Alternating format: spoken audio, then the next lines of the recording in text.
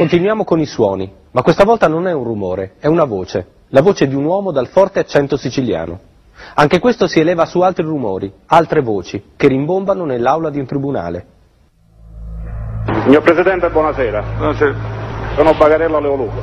Devo leggere una petizione, se lei mi consente, a nome di tutti i detenuti Presidente, ma una cosa che inizia a nome di tutti i detenuti che viene preannunciata Vediamo di che come cosa si tratta, petizione. Ministero. Vediamo di che cosa si tratta. Oh, ministero, non è, non è che sta, sta facendo chissà che cosa.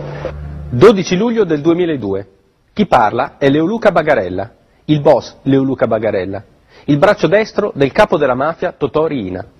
Leoluca Bagarella è in carcere all'Aquila, collegato in videoconferenza con la Corte d'Assise di Trapani, quando chiede di poter leggere un proclama indirizzato al Ministro della Giustizia, dottor Roberto Castelli.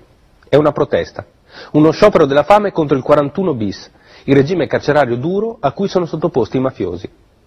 C'è qualcosa di strano in quel proclama.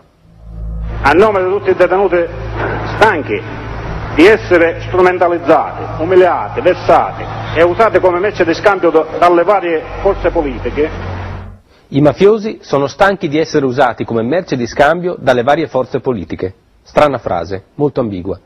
E poi c'è un linguaggio giuridico perfetto, molto accurato, molto preciso. Corte Costituzionale, articolo 13, i numeri delle sentenze. C'è qualcosa che non torna. Il fatto è che questa mafia non sembra quella mafia là. La mafia che legge i proclami in aula non sembra quella che mette le bombe, che incenerisce e massacra poliziotti e magistrati. Eppure è la stessa. Il sottoscritto Bagarella Leoluca, nato a Corleone, eccetera, eccetera, è sempre lui, il braccio destro di Totò Riina, uno dei capi più sanguinari di Cosa Nostra. Per capire chi è Luchino Bagarella ci sono una foto e un aneddoto. La foto. Leoluca Bagarella è in mezzo a sette carabinieri che faticano a tenerlo fermo. Siamo negli anni 70. Leoluca è agli inizi della sua carriera ma è già un latitante. È stato fermato per un controllo mentre si trovava assieme ad una ragazza ed è stato portato in caserma. I carabinieri non l'hanno ancora identificato, lui non vuole farsi riconoscere, non vuole compromettere la ragazza e c'è quasi riuscito. È quasi uscito dalla caserma quando nel corridoio incontra un maresciallo che lo riconosce. Ci vogliono sette carabinieri per riuscire a tenerlo fermo. L'aneddoto. Siamo nel marzo del 95 a Palermo. Leoluca Bagarella è ancora latitante, ma non importa, si muove bene lo stesso. In un bar incontra un amico che gli presenta un uomo.